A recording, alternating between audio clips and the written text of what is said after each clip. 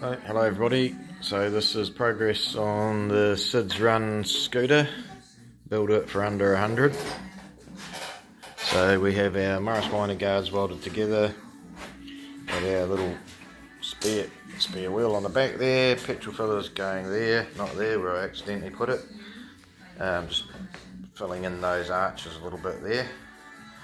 And then the V-dub guards I've turned upside down and put them around like a giant leg shield. Um, so that little carrier is going to go there. Then we have one of these, one of those uh, headlights going there. I've done quite an unusual thing, unusual thing with the front guard. So the front guard stays still, but the the wheel turns inside it, just to give it that sort of weird 30s, 40s look. Um, yeah, on this side I've still got to cover in yet. So it's coming along. okay, see you guys.